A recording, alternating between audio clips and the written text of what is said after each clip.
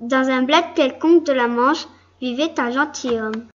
Il avait pour famille une jeune nièce et une gouvernante. Notre héros passait tout son temps à lire des livres de chevalerie.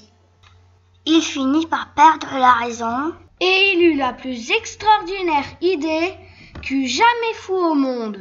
Comme les chevaliers errants, il irait combattre les maux de ce monde pour rétablir la justice. Il retrouva l'armure de son grand-père. L'armure était toute sale et le casque n'avait plus de visière.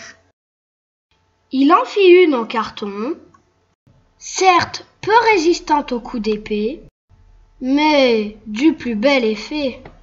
Maintenant, il y fallait un cheval. Quatre jours lui suffirent pour baptiser son roussin.